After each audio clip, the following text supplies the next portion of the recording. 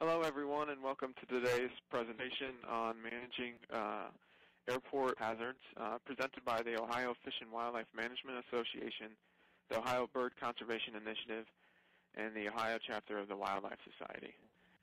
Before we get into the presentation, I want to uh, give you guys uh, a reminder of our next presentation coming up on April 8th at 10 a.m.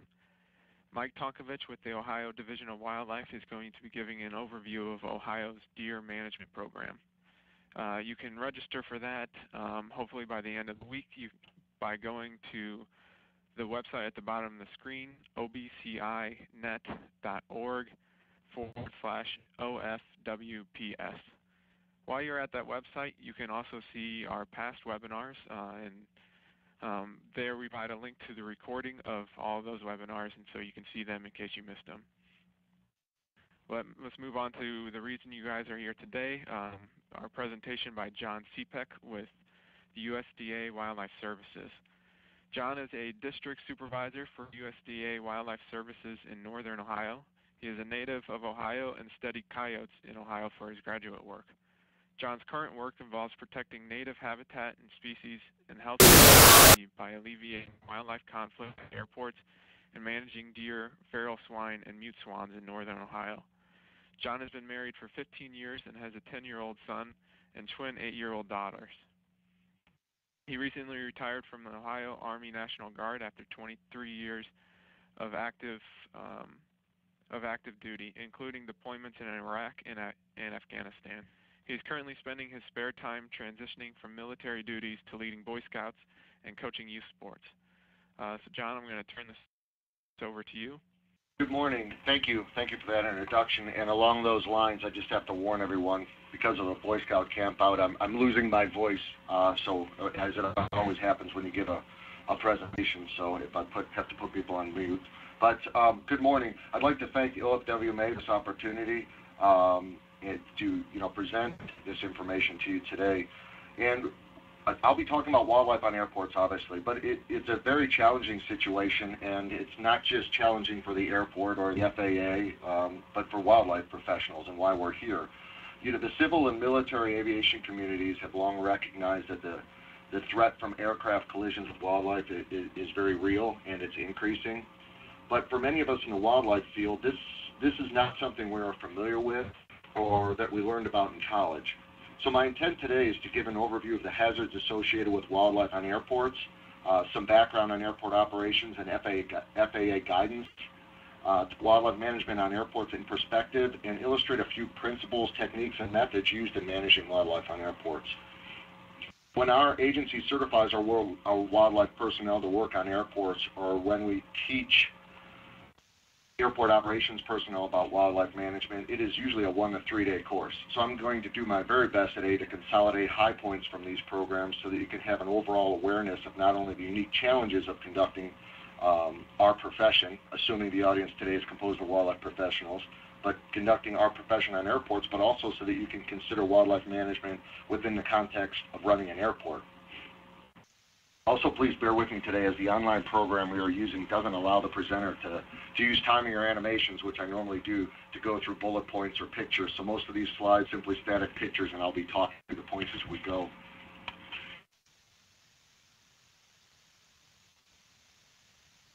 As wildlife professionals, we know how complex wildlife management can be. Uh, our decisions do not just involve the species itself, Management plans must meet federal and state regulations. They must be in compliance with National Environmental Policy Act. They need to involve the U.S. Army Corps of Engineers or state EPA in regards to waterways and wetlands. Proper permits for all aspects need to be in place, proper certification licensing of those involved. This in, in addition to considering and involving landowners, uh, whether it is public land like state forests or, or federal wilderness areas or privately owned land as our private lands biologists know.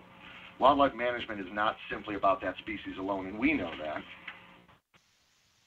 But I would like you to consider the airport's perspective um, in dealing with wildlife. Managing an airport is a complex process. This involves not just the general airport operations staff, but air traffic control, ground and air communications, airport rescue and firefighting, security, instrument landing systems, runway lighting, runway safety, maintenance, snow removal, de-icing for our northern airports as we witness. Um, each of these have their own set of regulations and oversight by the Federal Aviation Administration and State Department of Transportations. So wildlife is, is only one small aspect of airport operations. Keep this in the back of your mind as I'm going through this, that it's from this airport's perspective because they're responding to those regulations about wildlife hazards. But wildlife on an airport can be a very significant concern with catastrophic results. This was demonstrated by, uh, by Canada geese that brought down Flight 1549. When there is a concern with instrument landing system, with runway lighting, with communication, it often can be immediately addressed by, the, by airport personnel. As wildlife professionals know well enough, animals are unpredictable, uh, dynamic, and adaptable, and their behavior makes wildlife ma management a very challenging situation. However, this is, this is not a new issue. The first recorded aircraft flight occurred with the Wright brothers on 17 December in 1903 in North Carolina. The first recorded bird strike was also with the Wright brothers, but it was here in Ohio on 7 September 1905 near Dayton. The first recorded human fatality from wildlife with aircraft uh, was in 1912, and um, a pilot by the name of uh, Calbraith Rodgers was uh, conducting a cross-continent flight and a gull became entangled in uh, the wiring in his plane. He wasn't able to control the plane, and, and, it crashed into into the surf, and he perished as a result.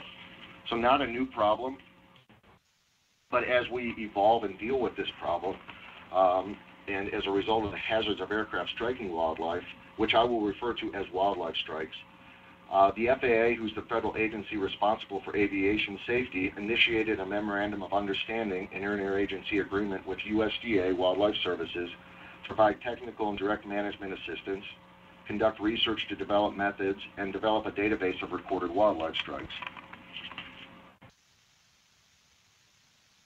So for those of you unfamiliar with USDA Wildlife Services or who wonder why the U.S. Department of Agriculture is involved in managing wildlife on airports, as I did when I joined our agency. Let me explain. USDA Wildlife Services is the federal government's wildlife damage management agency. Our mission is to resolve human-wildlife conflicts through research, technical assistance, and applied management. This includes minimizing the effect of wildlife damage on agriculture, industry, natural resources, and to safeguard public health and human safety. Public health and human safety includes our work with wildlife diseases and also the area of aviation safety. Since the FAA's uh, Memorandum of Understanding and Agreement with uh, Wildlife Services, our agency's work on airport has increased as shown by this graph. In 2013, Wildlife Services provided 251 staff years worth of technical and direct management assistance to reduce wildlife hazards at 850 airports which included civil, joint military use, and military airports in all 50 U.S. states, three U.S. territories, and nine foreign countries. Just to give you an idea of some scope of this. Wildlife Services conducted a certification personnel, uh, or conducts a certification personnel um, for our personnel that, that begin to work on airports. Wildlife biologists conducting wildlife hazard assessments under the FAA um, or presenting uh, training for airport personnel actively involved in implementing FAA-approved hazard assessments must have professional training and or experience in wildlife hazard management at airports. And that's an FAA citation um, right out of a reg.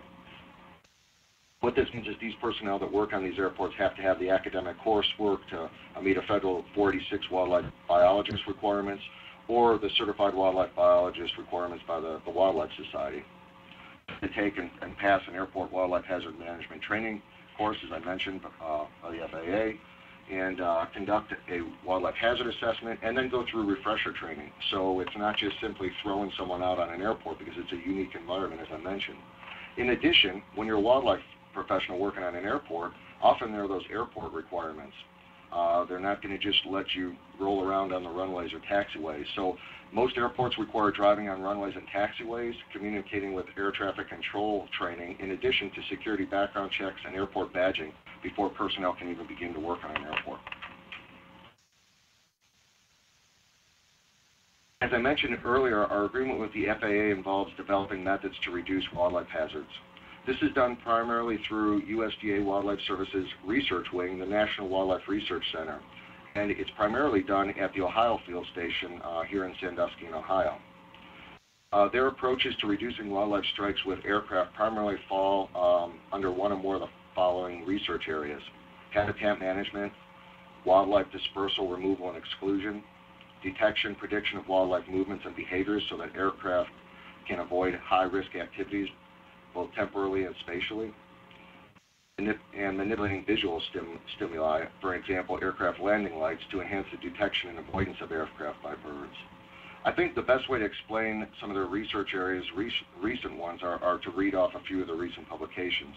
One of which is a framework for managing airport grasslands and birds amidst, uh, amidst conflicting priorities. Another exploiting avian vision with aircraft lighting to reduce bird strikes.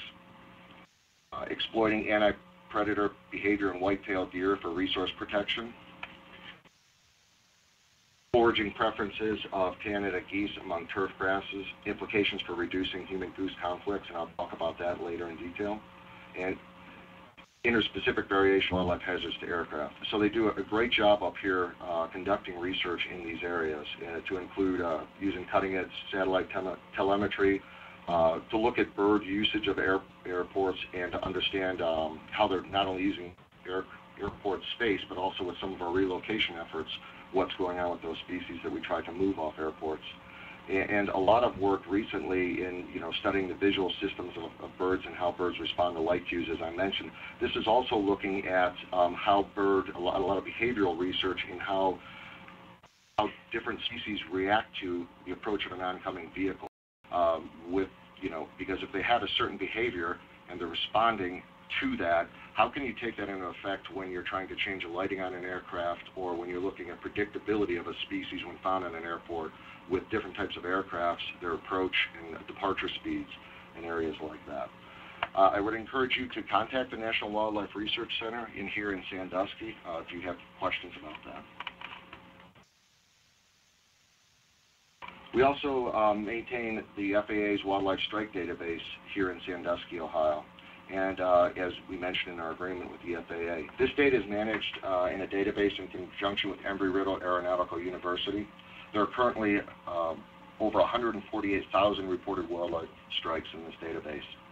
Annually, the FAA and Wildlife Services produces a report that summarizes all strike data since 1990, as uh, mentioned by the, or as illustrated by the picture on the right.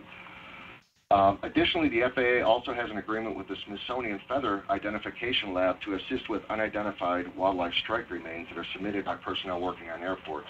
Often there is very little material that is recovered from a bird strike, and the Smithsonian Lab uses microscopic features of the downy part of feathers or DNA analysis to identify that, that species of bird. So we have that, in, uh, that information to put in the database and uh, to help us make our management decisions.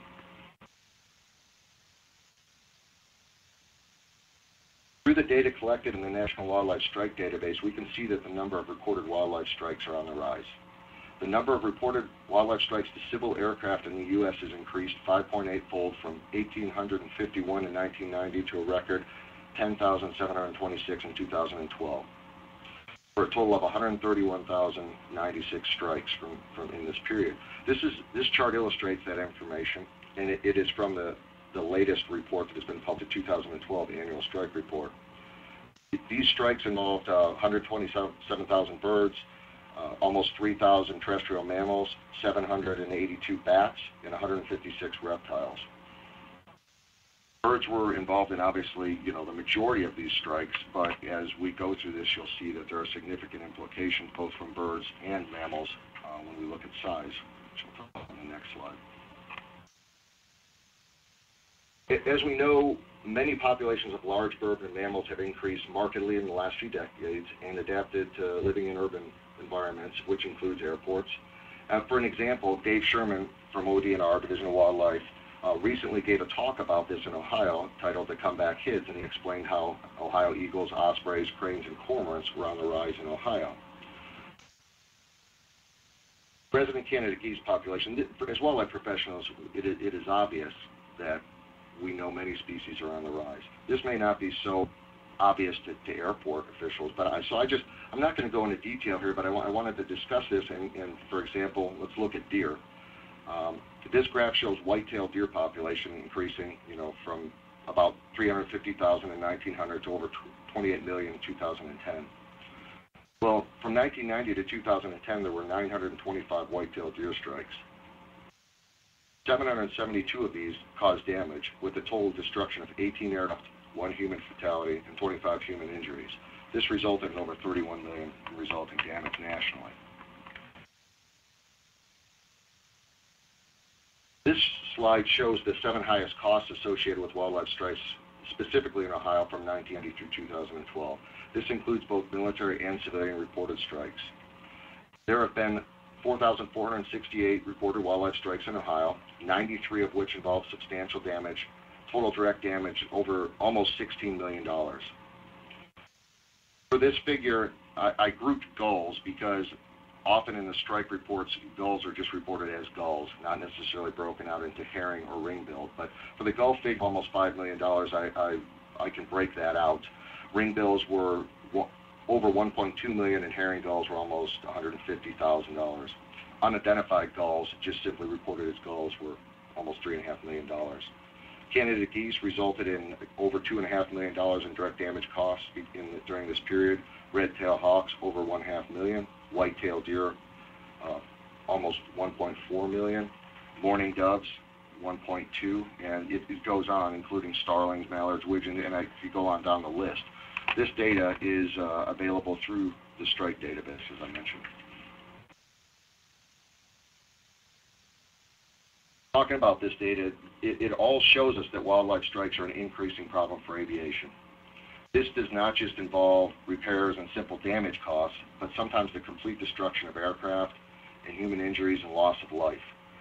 Globally, wildlife strikes killed more than 250 people and destroyed over 229 aircraft since 1988. In the U.S., there have been 24 human fatalities from 10 different strikes with civil aircraft between 1990 and 2012. This involved seven fatalities from five, from five different strikes attributed to unknown bird, a fatality from a white-tailed deer, from a brown pelican, five fatalities from a single strike with an American white pelican, which I'll talk about um, with the lower right-hand picture, two fatalities from Canada geese, and eight fatalities from a single strike from a red-tailed hawk. These pictures illustrate some examples of this. The upper left picture uh, on 22 September 1995, a United States Air Force uh, E-3 Sentry hit Canada geese on departure in Alaska, in Alaska with the loss of all 24 personnel on board. Now notice that this was a military ship. The aircraft lost power from uh, two, two engines and crashed into wood, wooded area less than a mile from the end of the runway. Picture in the upper right was uh, from October of 1960 and involved uh, a Lockheed 188 Electra, which crashed on takeoff from, from Boston, Massachusetts, after ingesting European starlings in three of its four engines. 62 of 72 people on board were killed in the accident. Why I put this picture on is to highlight that it's not just larger birds or larger animals that um, oftentimes smaller birds can have significant results when colliding with aircraft, especially flocking ones, and in the case of starlings that have dense bodies, uh, that result in a significant impact. More recent example is the, is the picture on the lower left. This is uh, from South Carolina in 2012. A Cessna 550 struck a deer just after touchdown. The deer struck the left leading edge of the left wing above the left main landing gear and ruptured an adjacent fuel cell. The aircraft was destroyed in the resulting blaze. Pilot and passenger got out safely. There were no injuries. In, uh, in the lower right-hand picture, a uh, Cessna 500 citation uh, crashed in a woodlot shortly after takeoff in, in, Oklahoma in March of 2008. Analysis of the re, uh, remains recovered by USDA biologists under direction of the NTSB indicated that the aircraft had struck at least one American pelican, and that's the, the five fatalities that I mentioned earlier as a result of a white pelican.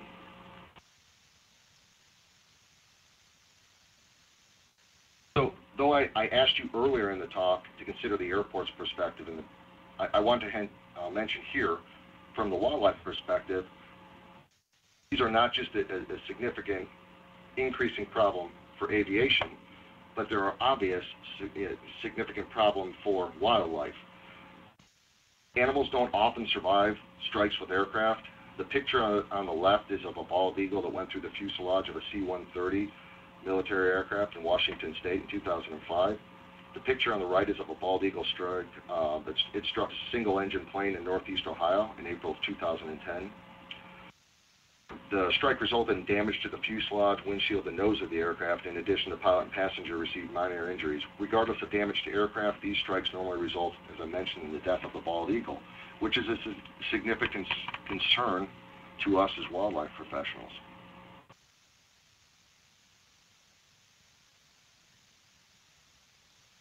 FAA enforces federal aviation safety regulations. So I want everyone to be aware that there is a code of federal regulations for airports that maintain a certificate with the FAA that says each certificate holder shall take immediate action to alleviate wildlife hazards when they are detected. So right up front, it is an airport's responsibility under federal regulations to take action when hazardous wildlife are on airports. There is also allowance for lethal removal of hazardous species on airports through, the fe through federal depredation orders U.S. Fish and Wildlife Service depredation permits, and in Ohio through Ohio nuisance animal regulations and Ohio Division of Wildlife special permits. These are situations different than normal nuisance, crop damage, or management permits, and, and these are based on the impacts to health and safety. So there are times when lethal removal must occur for some species that are an immediate threat and it must be removed because there are no other management options. However, though this may be justified for an immediate threat, it is also often a temporary solution, and the long-term solution should deal with the reason why the wildlife on the airport are on the airport and co conflicting with aircraft movement. I will get into this in more detail uh, throughout my, the rest of my talk. But to talk about the reason why they're there, it's very important for us to understand how attractive an airport can be to wildlife. Simply, airports equal attractive habitat. Uh, there are often resources in the airport environment that provide food, water, or cover, and I'm going to talk about these as I go. But out of necessity, airports are located in metropolitan areas near waterways and, and other travel corridors. Belongs to a port authority, and it was, you know, historically through transportation processes where the locations of the airport are, uh, ends up uh, resulting in some of the wildlife issues we deal with. And, and one other thing is that as the the urban areas or, or areas that become urbanized around airports, you know, the airport ends up being attractive green space habitat in dense urban landscapes. Many airports are also located on wetlands before the times of wetland protection or delineation. They're often uh, built, as I mentioned, uh, in waterways, coasts, near rivers, or transportation hubs. And these these are, are the things that are associated with wildlife travel corridors and, and migratory routes.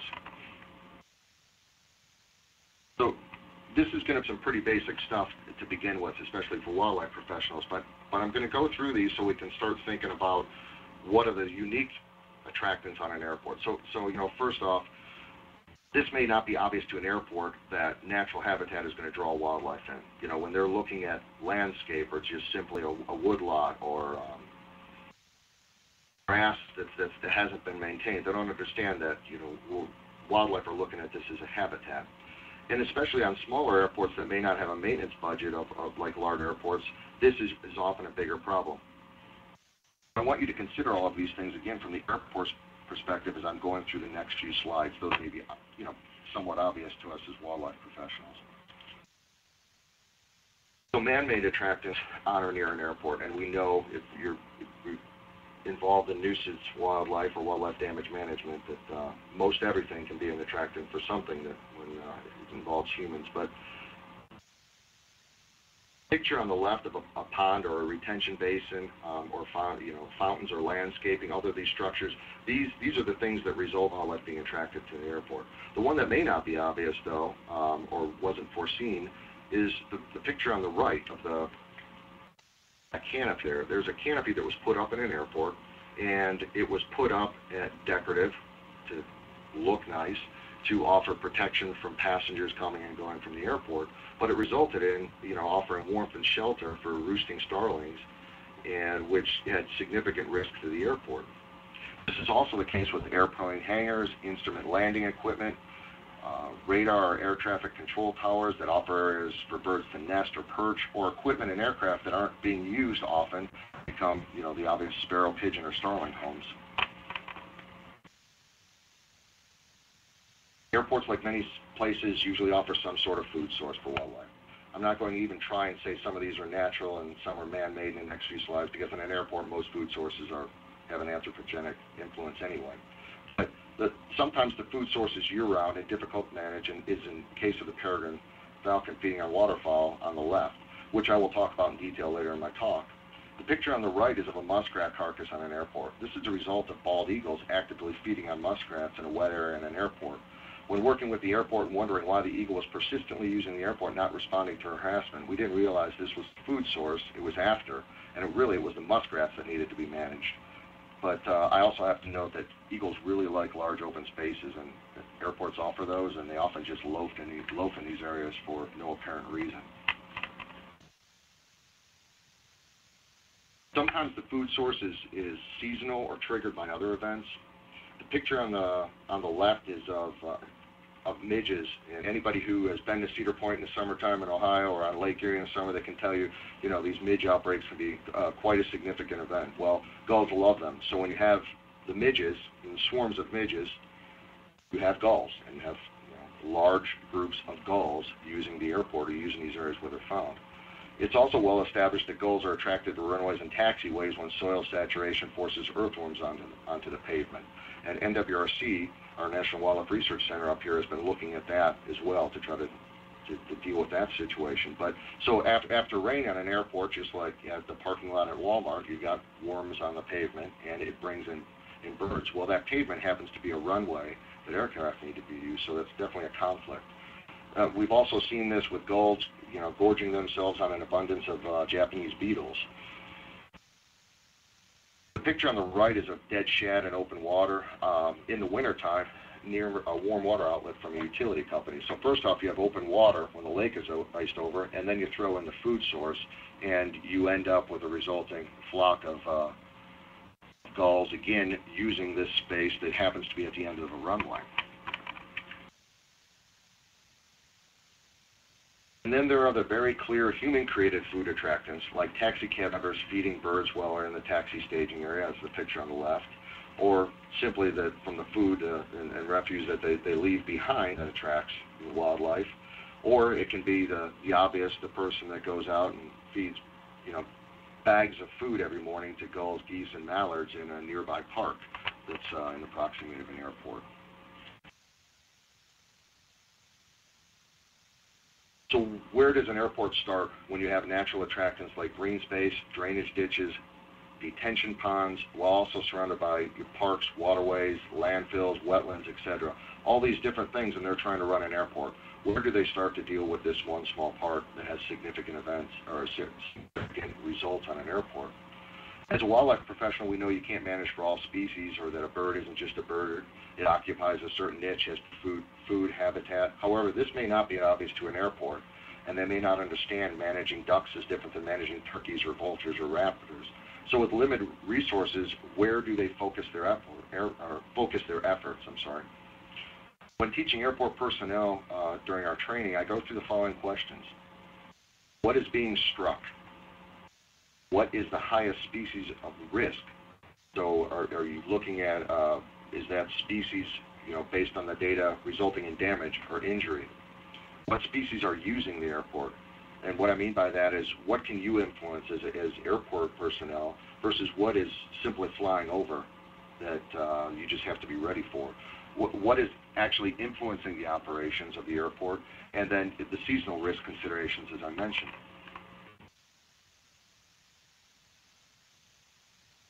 As I mentioned, you should also consider what is the highest species of risk. So I, I, you know, I talked about damage and injury, but you use data, and that's why I talked about and spent time with the, the strike database and that information, the annual reports.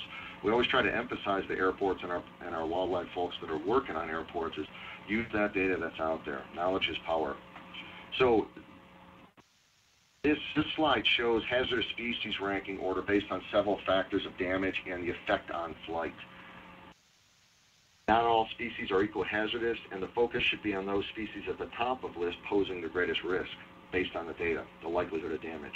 This table was put together by Dr. Richard Dolbeer, and it was originally published in the Wildlife Society Bulletin in 2000. Uh, it was actually updated in an FAA report in 2003. There are other rankings out there, but I want to use this one as an example. They're ranked 25 species group, one being the most hazard, as to relative hazard to aircraft based on three criteria, damage, major damage, and effect on flight. The composite rankings based on all three rankings, and it, and it came up with a relative hazard score. And so depending on how you're looking at this, this is just to help an airport or wildlife professional use some information that's out there to pri prioritize with limited resources where your management efforts go. The other thing to take into consideration when you're making these decisions is not every airport's the same. And th this sometimes is difficult for, for our personnel that work on multiple airports. But, you know, each, each has differing aircraft, may have different types of operations. Uh, you know, passenger operations versus cargo operations are going to be differently. But, you know, like the ecology of birds, I can't say the ecology of aircraft, but airport, the aircraft behave differently. They have different influences by different species. So military and civilian aircraft may differ in what wildlife is a higher risk. A larger passenger plane is different from a small regional jet, which is different from a small single-engine private plane. An F-16 in the upper left picture is low slung. It's got a big air intake under its belly that acts as a big vacuum cleaner when it's going down the runway. So structurally it may be able to take impact because it's a military aircraft, but when it ingests a meadowlark off the runway um, on takeoff, it can have significant results. So therefore, small songbirds may be a higher threat than other aircraft uh, when managing a, an airport or uh, an airbase that's running C-130 operations versus fighter operations. So again, what is being struck and causing damage and relevant to what aircraft and operations the airport's conducting. So what can be done? What management, what techniques, procedures, what, what do you do about it? Uh, I ask the airport, the following questions. Can it be removed? Can it be modified? Can it be excluded? Are you going to make a short-term temporary or a, a long-term permanent solution? What can be prevented? The bottom line, there's no silver bullet. Every airport is different, and we know in wildlife damage management that you know an integrated approach is often the best result because we're talking about species that are highly adaptable, so they'll adapt to some techniques that you're doing. And again, go back to the reason why it's there, I think, to, to start this process.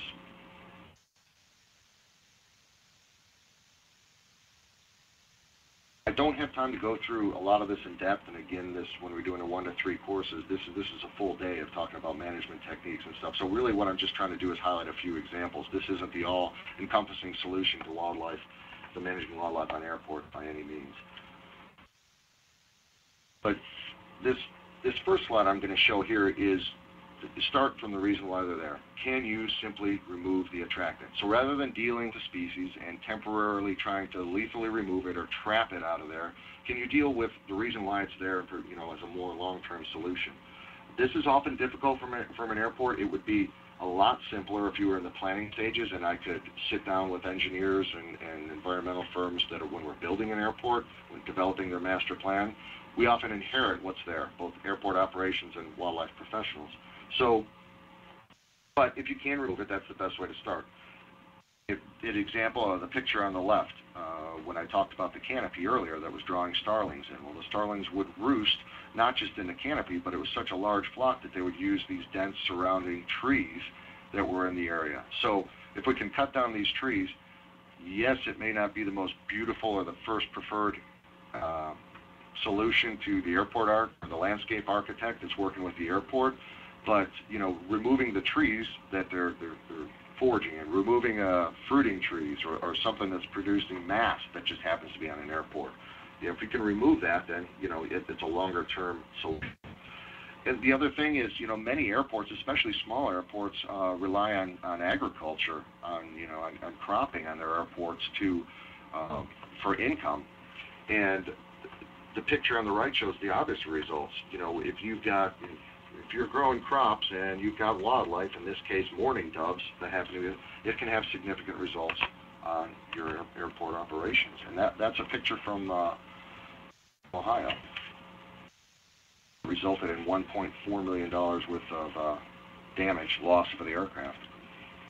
So if you can't remove it, can we at least make it a little bit less attractive to wildlife? And this is really where I want to highlight some some efforts by NWRC up here in Sandusky. They've done a lot of research on grass management. You know, it's difficult enough for an airport to conduct its operations to get the maintenance crews out there to just mow in addition to everything else they're doing. But, you know, how tall do you let your grass grow? Well, there's no silver bullet. There's no one answer fits all, but you just have to consider factors that may be obvious to us, but you know, what species are you dealing with? Do they like tall? Are they, you know, are they they like tall because that's what they nest in? They like tall grass because um, they prefer the cover. Do they like shorter grass because they they want to be able to observe and look for predators? You know that, and we all know that there's there's different species like different types of not only grass height but grass density too, depending on why they're using it. But these are the factors you can put out, and you know NWRC breaks it down to you know is it species specific? Can you look at flock size? Can you look at the vegeta vegetation density and food abundance and, and availability of the grass? And one of the things that this research went into is also looking at the grass types.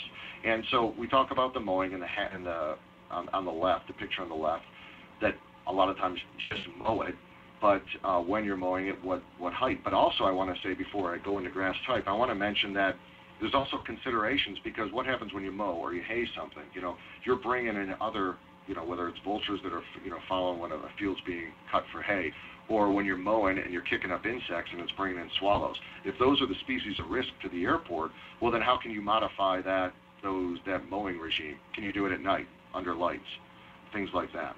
Well, then we get into um, the picture on the right where NWC has uh, conducted 10 trials um, looking at the activity of geese in different types of grasses, different types of uh, varieties of turf grass in there. And that's where they, they've, they've really looked into making really, really valuable data that has gone into recommendations with the FAA and the airports with, with a lot of success. Now, it's difficult to reseed an entire airport, to, to, you know, to kill off what's there and uh, plant it again with a, a fescue with a high endophyte, but, you know, but it's, it, it's a new project and it's new construction, we've got bare ground. This is really where we can make money with the airport by giving these recommendations, following FAA guidelines, NWRC uh, using their data, and uh, help to alleviate those uh, wildlife attractiveness. So, if you can't remove it, if you can't modify it, exclude it. And this this may be an obvious slide, but you know, excluding is less preferable because you still have the attractive that's being drawn in. They may come in you know, wildlife may come in and then realize that they can't get to it, but they're still being drawn in and have, have impact to the airport's operations.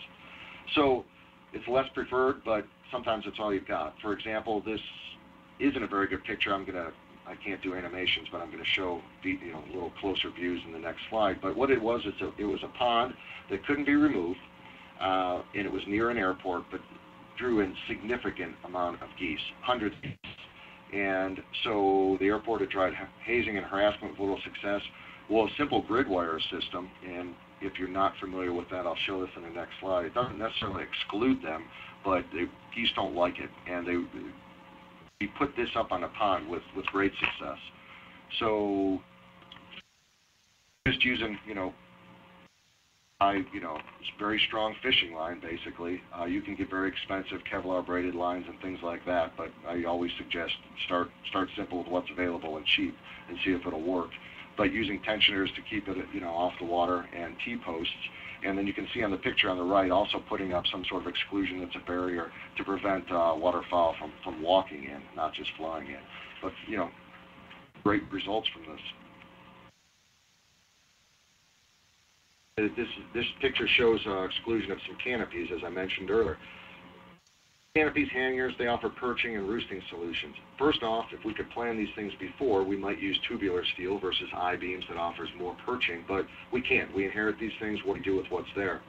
So I tried, uh, the airport tried many different things, the bird distress calls, but uh, I'll talk about that later with, uh, with harassment, but they, they didn't work.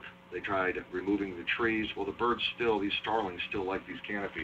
Well, they, they put in a, a very good, I had a company come and do a very good job with exclusion that really kept it to just a few birds that could kind of creep in on some of the corners, as the picture on the right. But uh, excluded this whole area and really reduced the starling use of, uh, of a canopy. Also exclusion in the form of fence. Most fence on airports is for security, for human type security purposes and not necessarily for deer, but anyone who knows fencing knows that a deer can, uh, our whitetails can clear a very high fence. So the FAA has uh, formal recommendations on this that include you know, a, a 10-foot fence and 10-foot, they call it a deer-proof fence, but using skirting so that it's buried to avoid uh, the situation on the left, and especially ground heave in, in northern Ohio when it's, it's you know moving posts and pulling the fences creeping up off the ground but also has you know barbed outriggers on the top for security purposes. Well, that's fine if you're building a new fence, but for existing fence, um, it often has to be modified. And this can be a significant effort from a maintenance crew that we're also trying to get out to conduct certain types of mowing or vegetation. So this was the picture on the right is just a really a great job that an airport in northern Ohio did with retrofitting a fence and just adding some skirting, digging it out, adding some skirting to prevent coyotes from getting under there, creating corridors for deer and everything else to move under. Also, the thing that we've seen is, you know, an airport will spend a lot of money on a fencing project, but then they put it at the, the base of a hill, so something's jumping on the airport. They don't understand the principles of, of the fencing, or that contractor doesn't. So it's a, very important that when you're, you're putting um, money into these projects, that they're done right and that you're, you're offering information as they go, so it's not done wrong. Uh, of course, we all know that you can't keep everything out even coyotes will climb a fence if you haven't seen it or heard of it. That's what the picture on the left is of. So a lot of good the skirting did on that 10-foot fence. But the bottom line is wildlife will adapt and they'll find a way. And if they don't, then you've got the picture on the right of, of human error. You know, you leave the gate a little bit open or security, you know, doesn't maintain that gate. Uh, and we've seen that on airports. So the most expensive fence doesn't always work. And of course, you can't exclude birds from airports. So that's what, you know, we get into harassment. And this is often what airport personnel resort to for most species and why we as well as biologists are so important dealing with the other things I mentioned, the removal and modification exclusion of the attractants. Propane exploders and even bird distress sound systems can be effective, but um, as I mentioned earlier in that canopy, the airport had put up bird distress systems, but the problem is you, you have to move these things or change the timing or change them or turn them off, otherwise they adapt to it as anyone in nuisance wildlife understands. They'll adapt, and then there's there's no there's no repellent factor in there. You're not you're not keeping it off. So uh, I always suggest, you know, if you've got a sound system out, once it gets rid of, you know, once the birds move off, turn it off. You know, reinforce that neophobic response by you know making it new every time something shows up, or move it, turn it off, adjust it. For pyrotechnics in the right picture, you know, there are uh, regulations for this because they are considered uh, an explosive and recent um, restrictions have, have limited some use of this, but it's a very effective tool. But the FAA requires that airport personnel um, are trained on the use of pyrotechnics because it is an effective tool in dealing with the wildlife that end up on the airport. And, and sometimes I'll jump to the picture on the right, and sometimes with removal of a species, lethal removal can, is used to reinforce some of the, the, the harassment techniques geese aren't responding to, you know, we, we know this, but you know, an airport may not. If, if geese aren't responding to the harassment or the, you know, they're not showing as great, well, then if you leave to remove a few, it's going to enhance those techniques. And it's required by federal U.S. Fish and Wildlife depredation permits for airports as well, is that they're using lethal removal as uh, to reinforce harassment for many species. But additionally, you know, sometimes you, you can't do anything with these species. They show up. Uh, and you result in having to, to, to trap and remove things or lethal remove from things. So consider the lethal reinforcement, as I mentioned, and this this may not be an option for, for some species and not the first option and may be temporary, but again, it is something that sometimes is on an airport. So with that, talking about species that this isn't an option, or we as wildlife professionals know that it's not the first option um, to reduce that threat. So some species have their own permits, special procedures that require collaboration with the state. Again, the airport may not understand this, though it may be very obvious to us. So I'm going to use peregrine falcons as an example of this and, and discuss trap and relocate because I, I want to trap and relocate doesn't make sense for deer, geese, starlings, etc.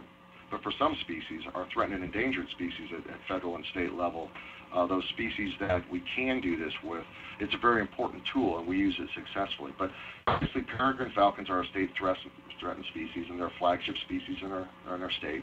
Uh, the picture on the left is, you know, from Cleveland. They they like urban areas, tall buildings, tall bridges. As, as the picture on the right shows, that's where they, they nest. And uh, these structures are near airports, as I mentioned earlier. They're metropolitan areas. So, as an example of this, we had two peregrines in, in 2004.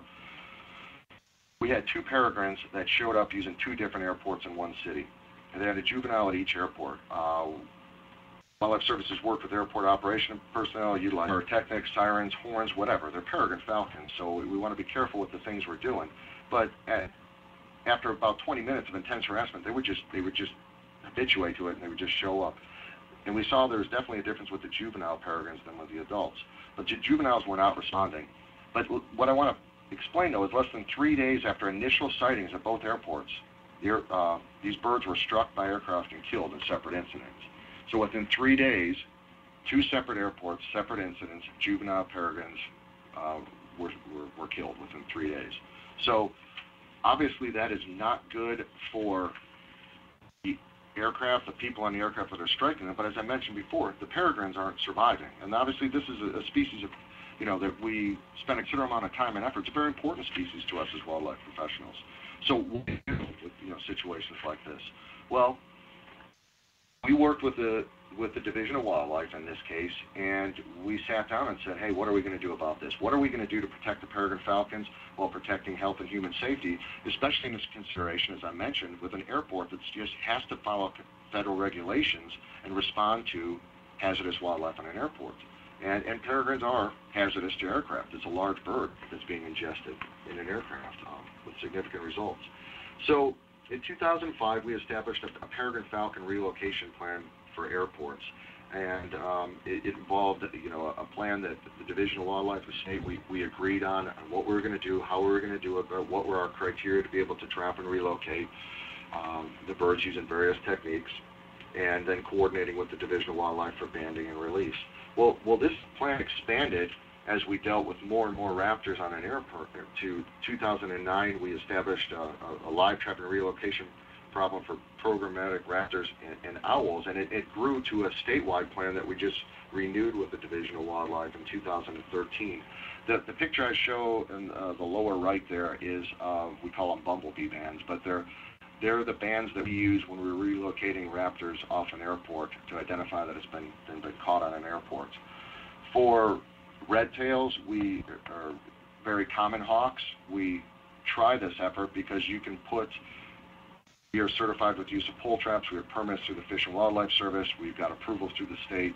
Um, uh, and why I highlight this is because airport personnel often don't. So this may not be an option for airport personnel, but it can be a successful uh, option when you're dealing with bald eagle or peregrine falcon or state species. Um, you have a plan, work with your cooperators on this, and we have moved many birds. For red tails, if they return, it's still we do our best to try and trap, trap and relocate at a certain time of year where it's less likely to return but those birds may need to be lethally removed. For birds like peregrine falcons, you're going to continue to put the efforts into trying to uh, trap and relocate and work with the state on those things. So we now have multiple species in this plan.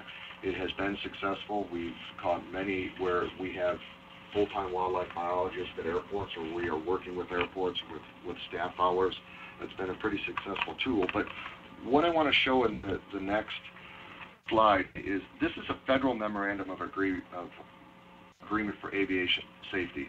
But before I get into the federal side, I, I, really just think the most important thing is when we're talking about the complexities of these issues, is the successes are really shown by the airport and those wildlife professionals working with all parties involved so that it is a plan that is the most sensible to address health and human safety, but to address also, you know, the welfare of, of the wildlife that are there because that's that's our responsibility as wildlife professionals uh, as well. So the, the, key for success is really collaborative efforts by multiple agencies to, to address this.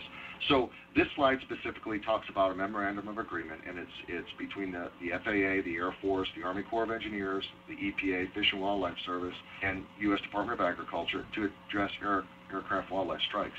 Because let's face it, when an airport is being told by the FAA that you have a species that is hazardous to aircraft on your airport, you need to do something about it. And they go to do something about it, and we recommend that you deal with the attractant.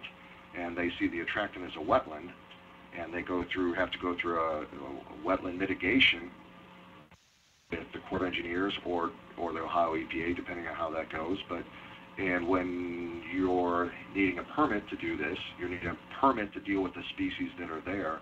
You know, there's a lot of conflicting missions, goals, priorities between those different agencies, and that's not even getting into the state and local government. That's at a federal level. So this memorandum of agreement basically says, hey, everybody needs to sit down and consider this as health and human safety, and we need to work through this process and come up with, with a good plan. And this really highlights that, again, at the state level, sitting down with a raptor relocation plan or a bald eagle plan, which is what we've developed with an airport, uh, that we may have to potentially trap and relocate a bald eagle uh, from an airport. But to have those plans ready uh, so that you can deal with these things with everybody's input. And why I, I want to kind of wrap this up with this is because the success of this is going back into even getting these people involved in planning. When an airport has construction projects, airport expansion projects, we are often asked by the FAA to review plans, and whether it's simply having input in a detention basin that is required as of impervious surfaces from taxiways and runways on an airport, that hey, can you put some input in there? What is the, you know, we've got great blue problems. Can you change the slope of this working with the architects or the engineers? Can you change the, the grade? Can you change the, the substrate, the material? If you're going to plant grass on it, then, you know, what are, what are the requirements? What type of grass? If not, can you grid this things off? Again, with the canopy. One, one example here to, to kind of wrap this up is, there was a, a tower being built on, a, on an airport that we worked at, and the architects for the tower were looking at, you know, how best to run an air traffic control tower. What they weren't looking at is, hey, if you put this very tall structure on an area where we know we have peregrines and high use, you're, you're putting ledges, window ledges, window sills in this thing that are perfect habitat for peregrines. That, you know, if there was anywhere else, we'd put a camera on it and have school kids naming the birds and, and we track them and be a great thing. But an airport, not so much. So we worked with them to adjust the slope of those so that they were less attractive to, uh, you know, nesting peregrines. And around the tower, what does everyone want to do? A landscape architect comes in and wants to plant, you know, things that look beautiful that if we were in another situation, we will want to be attractive and plant native species, native fruiting, you know, species that, you know, forage um, producing species, but on an airport, that's that's not what you want. And you know, in a perfect world, it would be it would be completely pavement, which would be the opposite of what we say as wildlife management. But it's the least attractive, but that's not not possible. So the bottom line is that the keys to success are working together, using the data, and really trying to be proactive and not reactive in these situations where you can. Because the bottom line, as we like to say, it, you know, it's a bit cheesy sometimes, but really, it, it is safer skies for all who fly. It's not just the flying public or the federal regulations that are out there um, to deal with it, with, with these um, these threats to human health and safety, but you know, it's also about the wildlife because it's not good for them to be struck by an airport uh, as well. So with that, I will uh, put it up for uh, questions if anybody has any. But uh, before, actually, before I say that, I just wanted to thank you all for your time and then uh, also for this this opportunity to sh uh, share this this information. Well, thank you very much, Jon. That was a very informative uh, presentation. For, if anybody has any questions, you can type them in the chat bar at the bottom left of your screen. Um, and I do have one question for you, Jon, uh, and I'm not sure if you can answer it. Do you, do you have an idea of how many um, um, strikes, wildlife strikes, you have prevented by by um, putting these biologists at each of the airports? It's really difficult to assess that, you know, in that environment. Um, I'm sure you could look at it in an airport to see what the, the change is. I don't have it at the, the top of my, know, off the top of my head right here we have shown results. We have shown um, that there are, we can reduce the, the number of strikes. And, and, and sometimes that's what an airport and what the FAA officials will look at is just simply the number of strikes. But for instance, I can tell you we put a full-time airport biologist out and they did what they could to work through the priority list as I mentioned. And then an airport that conducts an expansion project and starts expanding a runway and doesn't have any consideration and surprise you've got what we call construction birds but it's it's those you know those birds that really like open bare ground as you're doing a construction project. So that factor may influence the number of strikes.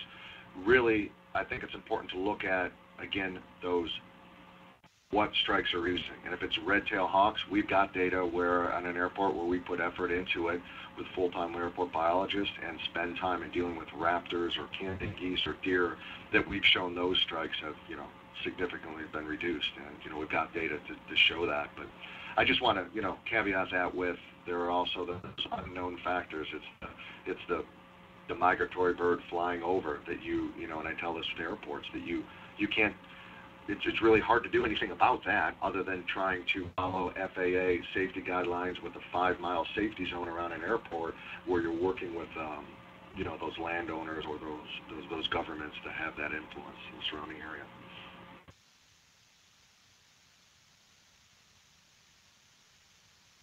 I see a question here yeah, this winter there were so many snowy owls in the area, often reported in the airports. Any issues dealing with them this winter? Significant issues nationwide. There has been, you know, an eruption of snowy owls. I've been told it's because they just had a really great breeding year up north, and there was a great prey base, and we have seen significant amount of snowy owls, and even requests to say, hey, can we use this as a bird survey point? Well, that's that's not going to, it's going to definitely influence your survey because we're going to harass anything that shows up. So, you know, we can say it was there, but you're not going to get much observation on it. So we don't want it there. But yeah, I can tell you we have struck snowy owls in Ohio at multiple airports. We have seen significant numbers of snowy owls at, at, at airports in Ohio, and it's a significant concern uh, nationally. Really cool stuff as a wildlife biologist, you know, and you, you, you know, you get to go out and see a snowy owl, but again, not at an airport. But yeah, snowy owls have been a, a, a big concern nationally and in Ohio. Thank you again for uh, the presentation today. Uh, really appreciated it, and thank you everybody who logged in to to watch it. Thank you. Thanks for the opportunity.